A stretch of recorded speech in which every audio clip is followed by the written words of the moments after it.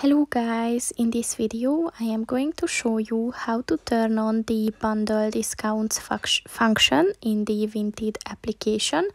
But first I just want to mention don't forget to subscribe to my channel because at 10,000 subscribers I am going to show you my whole YouTube revenue statistics and growth strategy as well as how to make money online. Let's jump into it.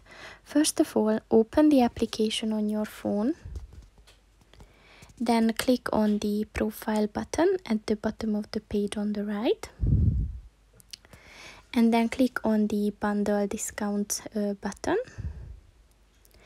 And uh, this uh, function is uh, useful if you have a lot of uh, items that you uh, were not able to sell yet and uh, you can set it uh, for example if someone purchases uh, three items then they will get a discount uh, of them. So to uh, enable this function just click on the black circle and uh, you can set up a discount for two items three items and five items and as you can see you can set like for two items.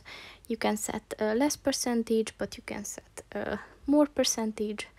So just um, choose uh, the one that you think uh, worth for you and for your uh, buyers as well. So that's pretty much it for this video guys. See you in the next one. Goodbye